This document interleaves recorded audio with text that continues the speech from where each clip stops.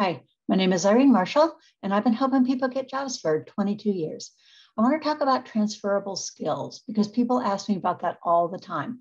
I want to change industries, I want to do something else, but I don't know how what I've learned all so far in my career, how that's going to be applicable.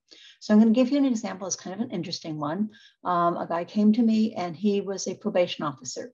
His degree was in criminal justice. He went into being a probation officer. He ended up deciding, you know, he really didn't like to spend all his time with, you know, bad guys. So he decided to go back to school, which he did. He got a master's in tax.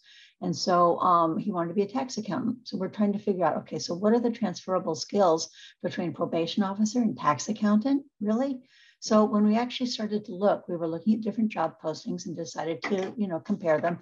We actually did find some, absolutely. So there were things such as my little cheat sheet here, um, uh, regulatory regulation and legal compliance. Well, yes, it's all about the law. it's all about regulations.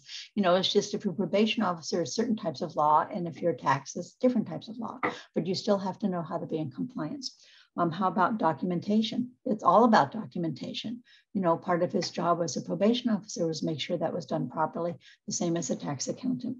What about caseload administration, reporting, interviews, investigations? There really, really were a lot of things that were um, common.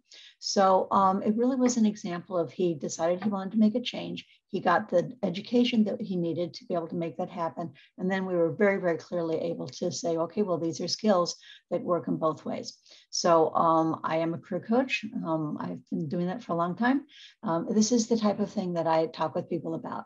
So if you're interested, you're looking to change um, careers and you're just not sure how to do it, give me a call. There's no charge for consultation. Um, the, my website is toolsfortransition.com. Again, my name is Irene Marshall. And um, go ahead and get in touch with me and let's talk and we'll figure out how to help you get from, you know, one career to another career. And I hope to hear back from you.